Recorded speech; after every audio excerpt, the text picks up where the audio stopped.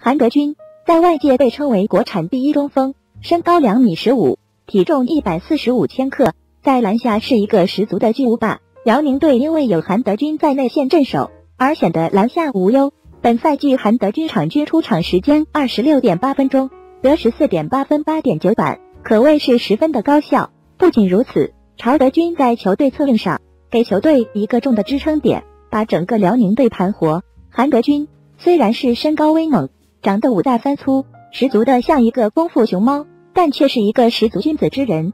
大韩战 CBA 十多年，在外界从来没有听到他有任何负面消息。在赛场上，他会拼尽自己最大的力气去为球队争胜。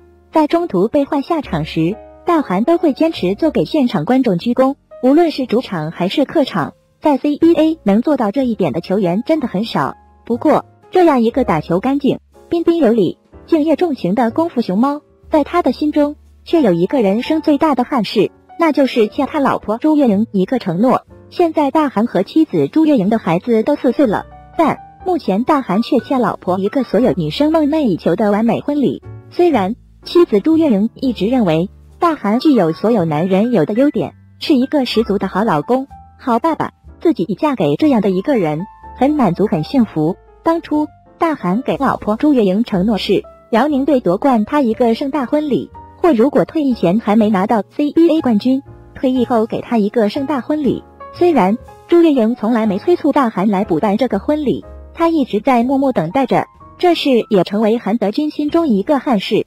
但是到了今天。韩德君终于迎来自己实现承诺最佳时机。辽宁队在总决赛上以大比分三比零领先广厦队。从双方的实力表现来看，今晚辽宁队很有可能四比零横扫广厦队夺冠。辽宁队主教练郭士强说：“大韩有点事没来上午的训练，这是否意味着大韩在筹备一个在全国观众面前给老婆朱月莹一个梦寐以求的完美婚礼吗？要是这样，那么今天晚上将会迎来两大盛事。”一是辽宁队二十三年来首冠，二是韩德君与老婆朱月莹的完美婚礼。在此，先恭喜恭喜！